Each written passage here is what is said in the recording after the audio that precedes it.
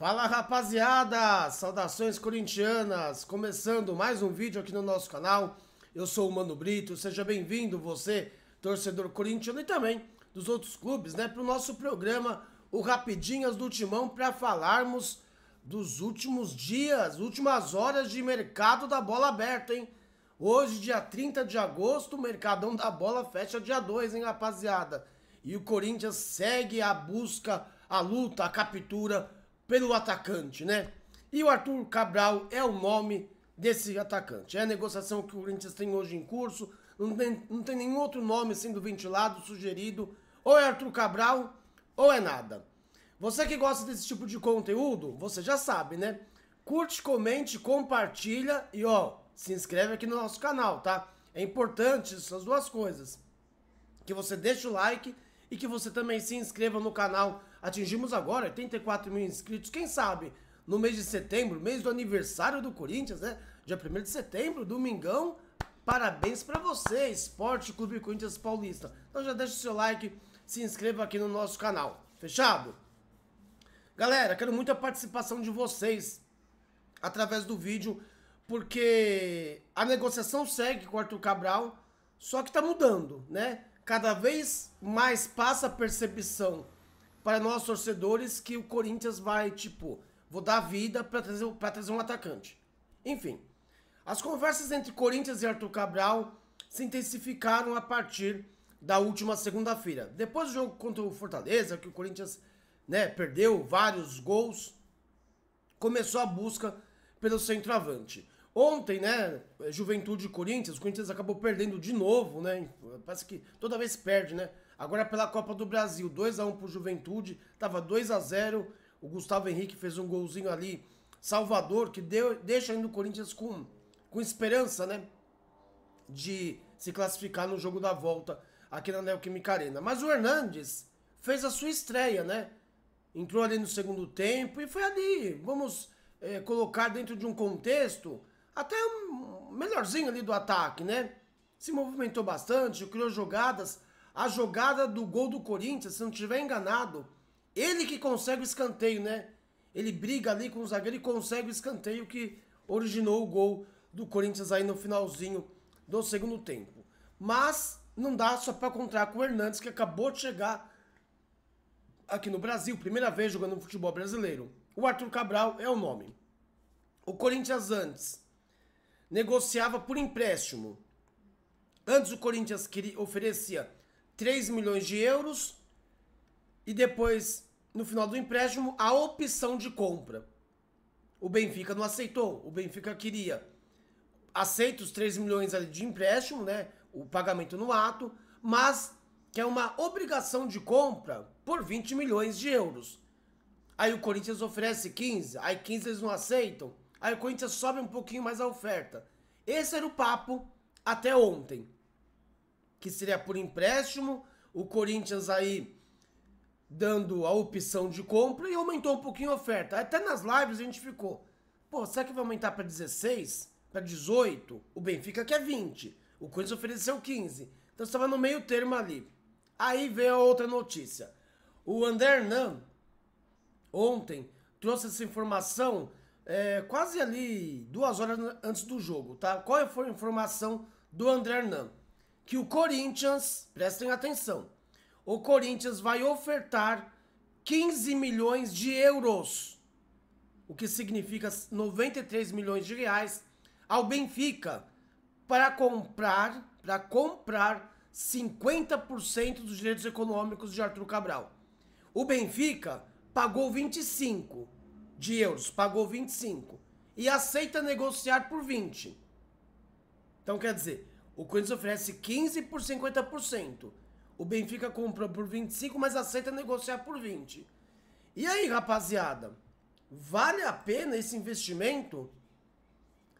15 milhões de euros agora para ter Arthur Cabral comprado, não é nem mais por empréstimo, tá? É comprado. Inclusive, o empresário do Arthur Cabral, que é o Paulo Pitobeira, informação essa do Samir Carvalho, pegou um avião e está em Portugal para tentar convencer o Benfica a negociar Arthur Cabral com a equipe brasileira, com a equipe corintiana.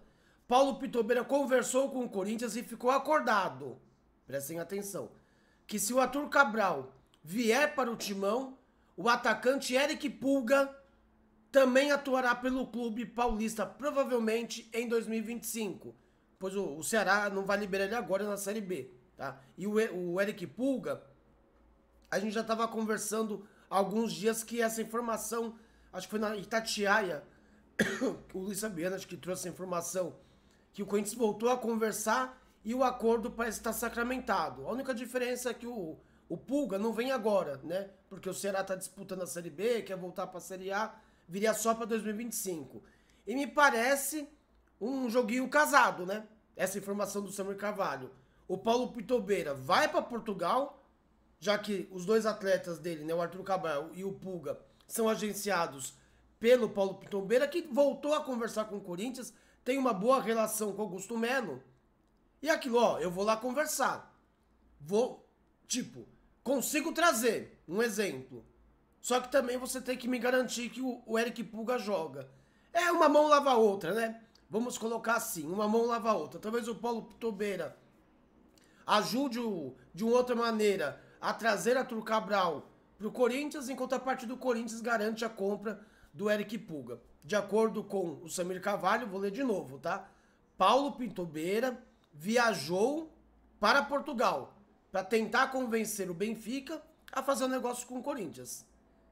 O Paulo Pintobeira conversou com o Corinthians e ficou acordado que se o Arthur Cabral vier para o timão, o atacante Eric Puga também vai jogar pelo Corinthians. Provavelmente em 2025, tá? Então aí é a informação do Samir Carvalho. Bom, rapaziada, não vamos pensar em 2025 com o Eric Pulga, né? Vamos pensar agora. Vale a pena investir aí 15 milhões? Logicamente não é à vista, né, esse valor. Ninguém tem, o Corinthians não tem esse dinheiro à vista para pagar. Mas vale a pena parcelar esse, essa totalidade de 15 milhões e ter o Arthur Cabral como a última contratação da temporada, o atacante, a esperança de gols do Corinthians? Eu quero muito a sua participação, eu quero muito o seu comentário. Tô curioso para saber a sua opinião. É muita grana, eu não vou mentir para vocês não. É muita grana. Por 50% ainda, se fosse 80%, 100, vai, até 100%, até entenderia, mas 15 milhões por 50% do é, é uma grana salgada. Mas é aquilo, né? A ocasião faz o ladrão. O Corinthians teve um mês e pouco para trazer um jogador. Mais de um mês e meio, né? Não trouxe. Aí nos últimos dias, com a janela fechando, com o time não fazendo gol, vai atrás de atacante, é óbvio, né? Vai ter que pagar o que os caras querem, porque você só tem duas escolhas.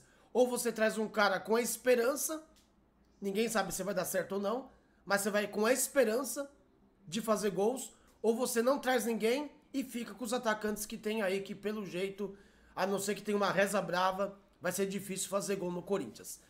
Família, daqui a pouco a gente volta ao vivo, tá bom? A meio-dia e meia, pra bater um papo com vocês. Conheça a nossa parceira aqui, ó, a Shirt Company, tá? Link aqui na descrição do vídeo para você fazer as suas compras, né? Dentro do site de camisa de futebol, você que curte aí, é, camisa do Corinthians, a número 3 daqui a pouco aparece no site, e de outros clubes nacionais, internacionais, seleções, linha retrô. Então acesse aqui o link da descrição do vídeo, usa o cupom Mano Brito e você ganha 5% de desconto em qualquer peça dentro do site, tá bom? E ainda melhor, que tem frete grátis para todo o Brasil, né? Então o frete geralmente é muito caro, você vai lá, compra a sua camisa, quer comprar a camisa do Corinthians, ou uma, uma retrô do Coringão que você quer ter para usar, pega o cupom Mano Brito, ganha 5% de desconto em cima do preço lá do site, que já está com desconto, e ainda tem frete grátis para todo o Brasil. Rapaziada, deixe o seu like, se inscreva no canal. Tamo junto, hein? Vamos acompanhar as últimas horas aí, os últimos dias do Mercadão da Bola. Será que o Corinthians consegue trazer Arthur Cabral? Será que vem mais um jogador ainda? Vamos aguardar, porque o Corinthians precisa de reforço para o brasileiro, principalmente. Tamo junto, até a próxima. Saudações alvinegras e vai Corinthians. Valeu, família!